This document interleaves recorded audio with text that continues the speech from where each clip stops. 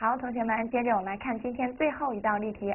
这道题说呀，猫妈妈钓来了一些鱼，小花猫吃了一条，把剩下的，它是不是先吃了一条啊？对吧？对。把剩下的分给了小白猫，小白猫吃了一条，把剩下的一半分给了小黑猫。这时小黑猫还有四条鱼，请算一算猫妈妈一共钓了多少条鱼？我们来想想这道题的一个过程吧，在这儿是不是猫妈妈钓了一些鱼回来呀？嗯。把它分给了三只小猫，对吧？是怎么分的呢？首先啊，它是这鱼啊，先到了小花猫面前，对吧？小花猫是不是先吃掉了一条啊？然后把剩下里头的一半分给了小白猫，那小白猫是不是分到了吃完一条的里边的一半啊？嗯，对吧？接着这小白猫啊，它分到的这些鱼里边，它是不是又吃了一条？嗯。吃完以后，它把剩下里头的一半又分给了小黑猫，对吧？那这个时候小黑猫还有四条鱼，对不对？嗯。那要求猫妈妈一共钓了多少条鱼？这题啊，我们还是得还原，就是从后往前倒着来想。我们先来看看这个过程啊。好，吃一条分你一半，吃一条分你一半，对吧？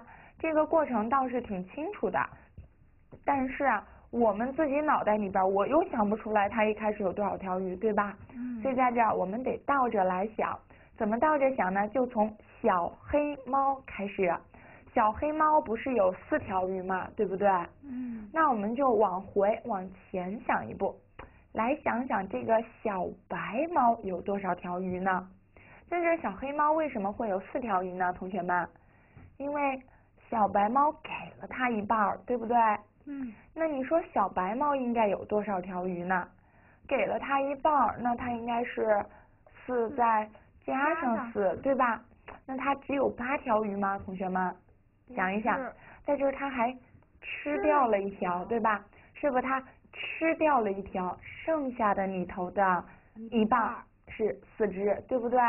那原来是不是还得把吃的这一条给它加回来呀？对吧？所以原来小白猫是不是应该是四加四再加一呀？对吧？嗯。应该是九条鱼吧？对不对？对。这道题是不是把我们前面学的两种类型都结合起来了？对吧？嗯。首先它是还原，对不对？我们从现在找找以前的，对不对？还有就是跟我们的大饼其实结合起来了，在这儿分给他了一半，说明一开始我是不是得再加一份啊？嗯。四加四，对吧？那吃掉的那一条呢？吃了的也要还回来吧，对不对？嗯。再加上吃掉的这一条，所以小白猫本身是有九条鱼的，对不对？嗯。那我们是不是接着再想小花猫啊？猫妈妈是不是一开始把鱼全给了小花猫？对不对？对。小花猫吃了一条，把剩下里头的一半分给了小白猫，对不对？那也就是说，这九条是它剩下里头的一半，对吧？对。那它剩下了多少条鱼呢？是不是一半儿再加一半啊？对吧？是不是九加九呢？对不对？对。那这是它剩下的，它还吃了一条，吃的这一条我们得要把它给。加回来吧，对不对？所以你看，小花猫是不是应该是九再加九啊？这是一半加一半，对吧？然后把它吃掉的那一条也要给加上吧，对不对？在这是不是等于十十九条啊？对吧？对。这十九条是不是就是猫妈妈一开始钓的鱼啦？嗯。对吧？好，这个题我们是不是就解决了？嗯。好好再想一想这个过程，虽然这个题啊有点绕。但是啊，只要我们把刚才学的那两那两种题型呀理解透了，这题其实也好做，对不对？咱们就从小黑猫开始找小白猫，找着小白猫以后再找小花猫，是不是就出来了？一二三，是不是从后往前再倒着再倒推呀？对不对？好，这就是咱们今天的最后一道例题六了。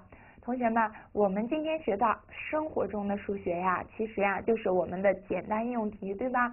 我们是不是学了还原呀，或者叫倒推，对不对？还原就是知道现在的要找原来的，对不对？我们还学了一种假设法，对吧？在假设的时候，我是不是要假设？就比如说我们男生女生那道题，对不对？例题三，我是不是要假设少的那一方啊，对吧？嗯。一假设，假设它是零，对不对？接着我们最后学了一种方法，叫做画大饼图，对吧？什么时候用大饼图呢？就是一半儿一半儿的时候，我们就想到要用大饼图了，对吧？嗯。这大饼呀很容易，咱们以后呀上二年级的时候还会继续学到。这种倒推的题目，到时候我们会学一种特别有趣的方法，叫做火车法。那我们呀，今天就学到这儿了，同学们，我们下节课再见。